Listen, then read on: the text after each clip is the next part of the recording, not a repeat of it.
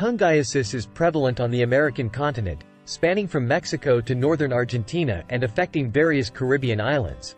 It also extends throughout sub-Saharan Africa. Isolated cases have been reported in India and southern Italy.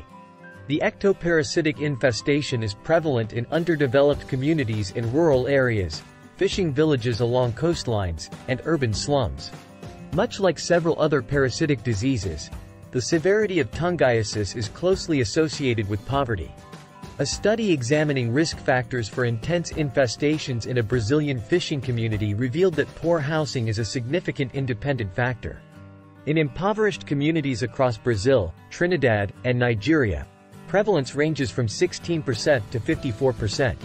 The prevalence of the disease is linked to the presence of sandy soils, but it can also be found in banana plantations and tropical forests. Tungiasis is widespread in Brazil, occurring from Yanomami populations in Roraima state to rural areas in Rio Grande do Sul state. Historical and anecdotal reports suggest a higher incidence of tungiasis during the dry season. Seasonal variation shows fewer cases during the rainy season and a higher incidence and prevalence during the dry season. The animal reservoir, especially domestic animals like dogs, cats, and pigs, as well as rats, plays a crucial role in transmission dynamics. In a Fortaleza slum, northeast Brazil, 67% of dogs, 50% of cats, and 59% of captured rats were found infested. Pigs and cattle in rural areas are known reservoirs for T. penetrans, although their importance seems to have diminished in recent year. Tungiasis has been observed in various host animals, including monkeys, sheep, goats, sylvatic rodents, coatis, and armadillos. The clinical presentation and natural history in animal hosts closely resemble human tungiasis.